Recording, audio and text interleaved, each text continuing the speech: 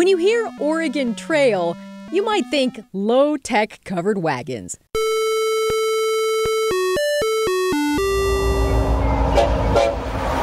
But for Don Martin, covering the 2,000 mile stretch from Missouri to Oregon City is more than an old video game. It was time to do the whole trail. It's a dream realized. Don, who lives in Prineville, set off in April and hiked the whole thing in three months. Just don't offer him a pat on the back for it. Tens of thousands of eight year olds made this trip, and most of them did it barefoot. And that kind of puts what I did in perspective. It was hard, but it wasn't that hard. On his journey, Don traveled alone, except for his homemade supply wagon named Ollie and a stuffed ox. Ollie Ollie Oxenfree.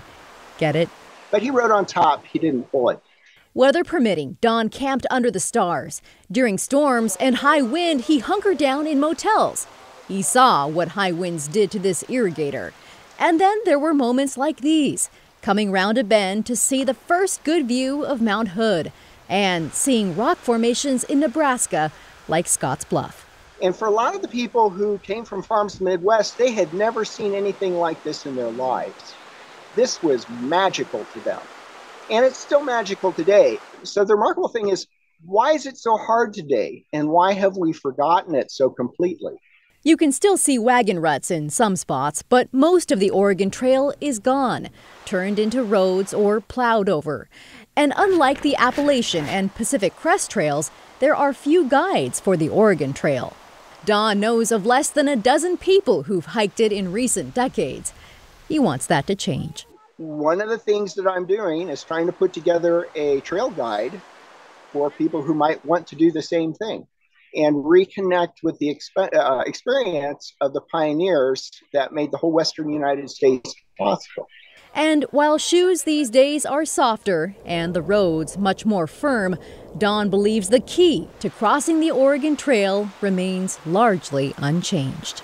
Then and now was simply putting one foot in front of another for 2,000 miles and not stopping until you got to the end.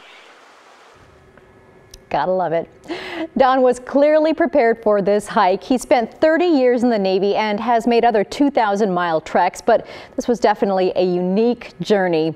If you want to learn more about his adventure, he documented it in a trail blog, and we'll post that link for you on KGW.com. David, I'm going to stick to my 10 mile hikes. Yeah, me too. You know what? I'm just glad once he got to the Dalles, he didn't try to float down the Columbia River. Remember oh, no. that?